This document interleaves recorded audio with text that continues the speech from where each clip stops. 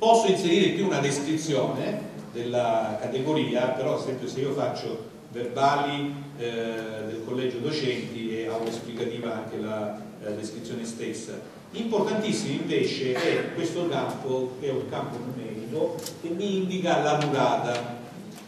Allora, questo, eh, il valore che io inserisco qui avrà effetto poi quando vado a fare la pubblicazione del singolo atto, verrà utilizzato per calcolare la data di scadenza che è una proposta che viene fatta, non è obbligatorio aderire alla proposta, per cui ad esempio io posso avere degli atti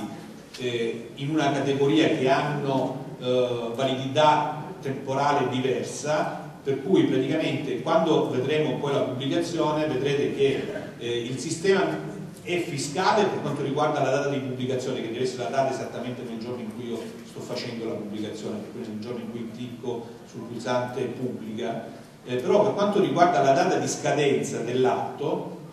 il sistema mi dice guarda eh, tu mi hai detto che l'atto scade eh, tot giorno, però in base al numero di giorni impostato sulla categoria la scadenza dovrebbe essere questa, se vuoi la aggiorno in automatico. Eh, per cui la durata è una uh, comodità che viene messa a disposizione, eh, per cui questa possibilità di avere calcolato in automatico la data di scadenza. Se ad esempio tutti i verbali eh, del consiglio di, del consiglio di del collegio docenti praticamente devono essere mantenuti all'albo ipotizziamo 15 giorni quindi io inserisco qui 15 non avrò più bisogno di andare a, a scrivere quando vado a codificare l'atto la data di scadenza in automatico praticamente mi verrà proposta in fase di pubblicazione. Anche qui praticamente è stato scritto il eh, il file di log con la data e l'ora. Eh, questi sono i dati basilari poi ci sono anche altri dati che vengono comunque memorizzati all'interno del database che qui non vedete l'indirizzo IP lo vedete soltanto se vi posizionate sopra e lasciate sul mouse. Vi viene data eh, viene eh, visualizzata eh, l'operazione che è stata effettuata con l'inserimento della categoria con tutti i dati che abbiamo utilizzato una volta inseriti i responsabili e le categorie possiamo passare agli atti e codificare gli atti. Andiamo su aggiungi, eh, qui è un po' ristretto, mi sa che salta un pochino soprattutto perché ci sono quelle descrizioni che vanno su più video. Comunque il numero dell'albo viene riportato però non è possibile inserirlo. Abbiamo detto che la numerazione degli atti all'interno dell'albo avvengono in maniera completamente automatica e in maniera completamente automatica viene gestita anche il passaggio fra un anno solare e l'altro per cui al, ipoteticamente al 1 gennaio del prossimo anno il sistema quando entrate nella gestione degli atti vi dirà guardate che è stato cambiato l'anno a zero, la, eh, a zero il contatore progressivo degli atti potete anche non farlo però nel momento in cui andate a pubblicare il primo atto sicuramente eh, lo, si deve fare sarà un passaggio indispensabili. Data di pubblicazione dell'atto con il suo calendario gestito in maniera visuale, il codice di riferimento che in genere si utilizza il numero di protocollo, l'oggetto, un campo descrittivo,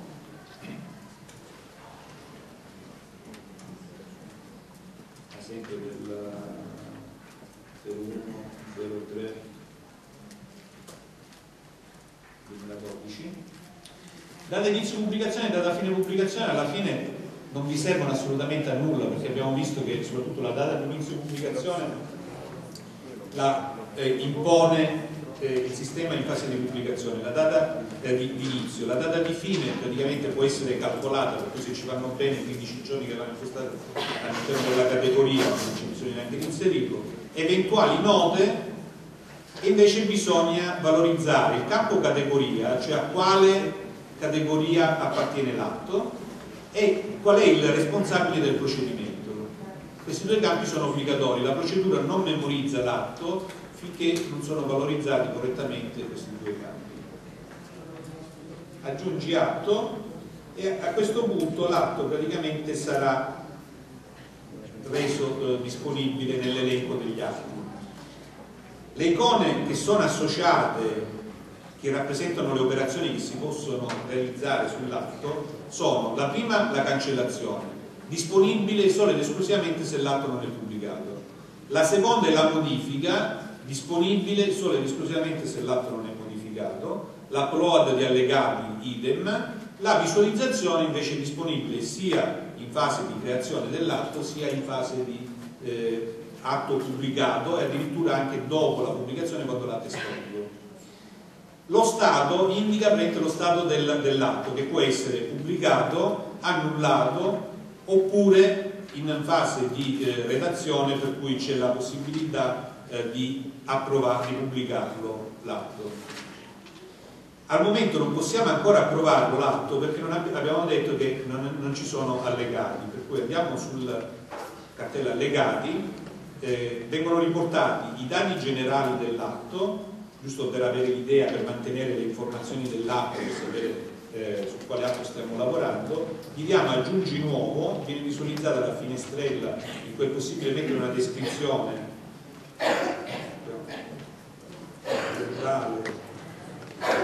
In pdf lo sfoglia adesso vi dovete accontentare di un pdf generico apri aggiunge allegato viene riportato file caricato, nome, il nome dell'allegato, il percorso in cui è stato memorizzato e la dimensione del file. A questo punto aggiungiamo un altro allegato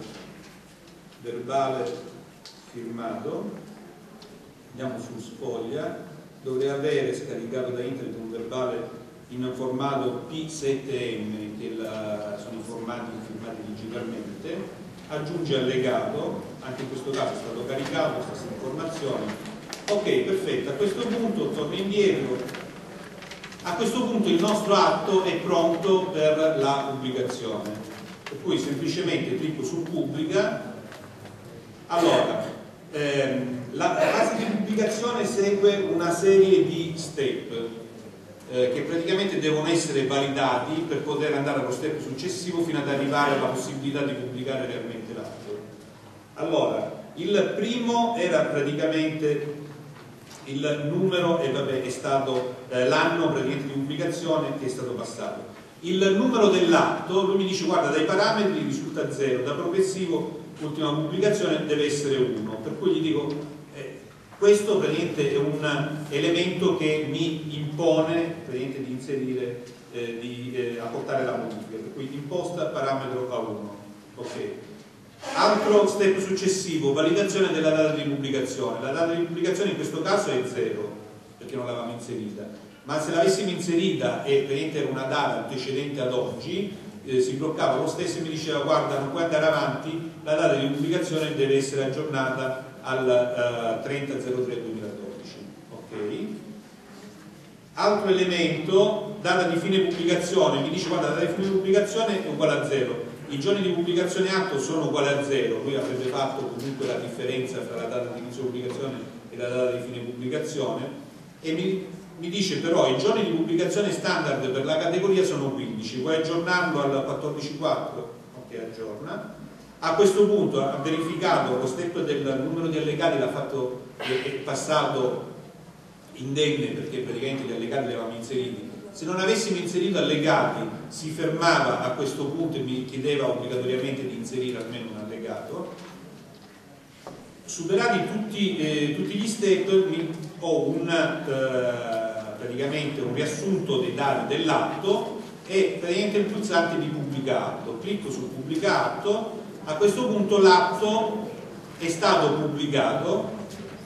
e praticamente abbiamo ora soltanto due possibilità, lo stato in pubblicazione, abbiamo la possibilità di visualizzare l'atto, okay. dati generali dell'atto in due allegati, allora un, una